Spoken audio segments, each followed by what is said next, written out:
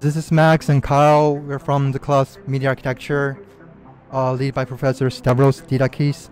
And we are presenting our final project presentation here, Invisible Cities. Uh, we read the book called Invisible Cities.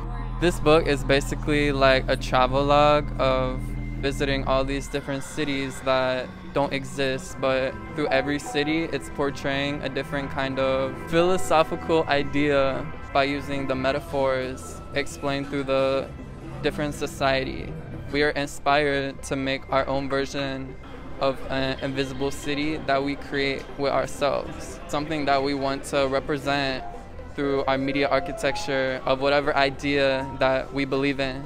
Our university, NYU Shanghai, collaborated with Unity and we're basically showing through different 3D modeling, animation, and we learn how to use shaders as well as VFX, as well as using the Cinemachine and a lot of different tools within the Unity platform.